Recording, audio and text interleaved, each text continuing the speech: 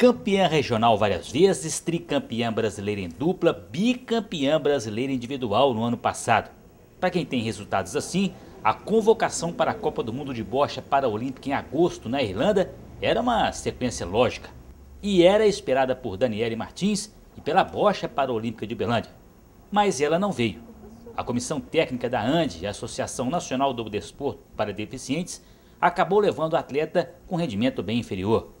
O que passa na cabeça de quem passa a vida nos treinos construindo o resultado? Se ficou claro na competição que eu consegui o título de primeira colocada, se dentre todos aqueles ali é, que participaram da competição e que tiveram nos últimos, nos últimos dois anos os melhores resultados, é, foi eu estou entre os melhores, então é, cabe um questionamento, né? Quais os critérios utilizados para essa seleção? A não convocação de Daniele não agradou quem acompanha a trajetória da campeã. Um blog na internet está mobilizando a opinião.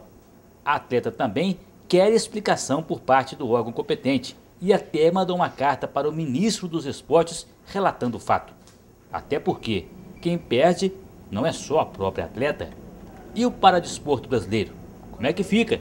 Meus amigos da faculdade iniciaram um movimento, sabe, lindo, maravilhoso, que está realmente chamando a atenção das pessoas na internet, chamando as pessoas para comentarem o um assunto, para divulgarem para seus amigos no blog daninomundial.com e está sendo surpreendente para mim. Muitas vezes eu fico emocionada de ver realmente o, o interesse das pessoas, sabe, pelo não só pela minha convocação, mas também pela própria condução do sistema paralímpico aqui no nosso país.